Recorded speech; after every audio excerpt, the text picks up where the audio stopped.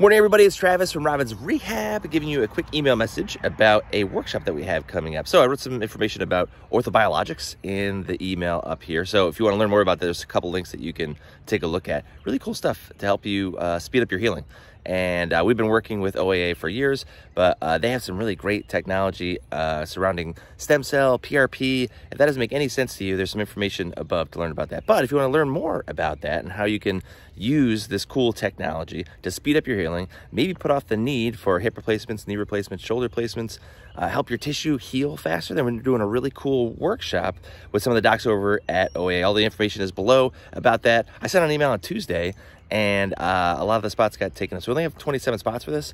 Uh, I think like 13 or 14 got taken. So if you want to learn more about orthobiologics, uh, all the information is below. It's the first Tuesday in May, I think. Um, but check out the page. You got to register for it.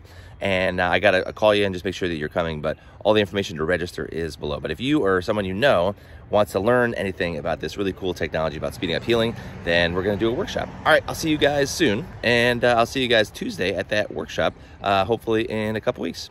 Have a great weekend, and uh, I'll see you next Tuesday.